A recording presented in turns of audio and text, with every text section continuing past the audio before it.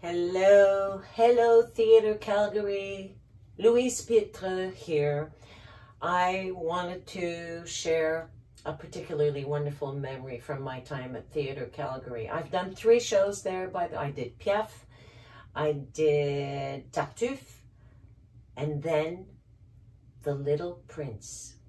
I was lucky to be part of that world premiere production where I played the snake and Bretta Gerecke did the most amazing set and costume design and I wore the most outrageous costume I've ever worn in that show as the snake. But in that show, there was a moment, a number that will forever be a very, very special thing for me.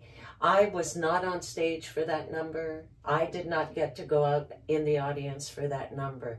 But every show, because it was so beautiful, I would stand upright with two crew people and we would peek around the corner because we just had to see this amazing thing that Dennis Garnhum had thought out and that we saw happen every show.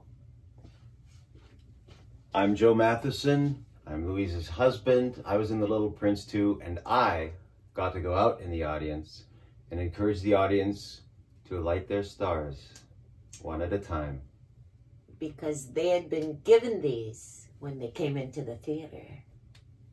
And during that number, the entire theater lit up with a million stars and it remains probably one of the most heart-stopping things I got to watch every show.